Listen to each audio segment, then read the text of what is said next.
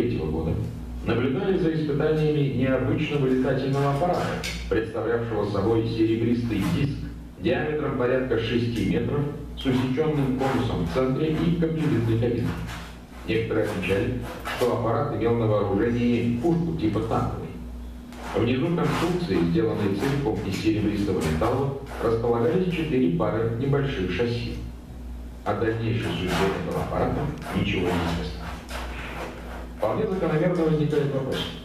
Не эти ли аппараты видели американские и английские летчики? Возможно, их видели и наши бомбардировщики и истребители, но дали СМЕРШ подписку о неразглашении. Наводит на серьезное размышление и ракетная техника Третьего Рейха. А в США просочились в печать сведения, что в начале 90-х годов 20 века на Землю после 47 лет отсутствия вернулся отряд из трех нацистских космонавтов. Якобы они приводились на поверхности Атлантического океана. Называлась даже дата 2 апреля.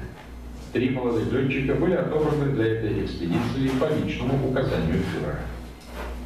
По мнению неназванных экспертов НАСА, сделанная в нацистской Германии трехступенчатая ракета, запущенная в космос с полигона в Пеннемюнде в 1943 году, могла быть использована как в научных, так и в военных целях.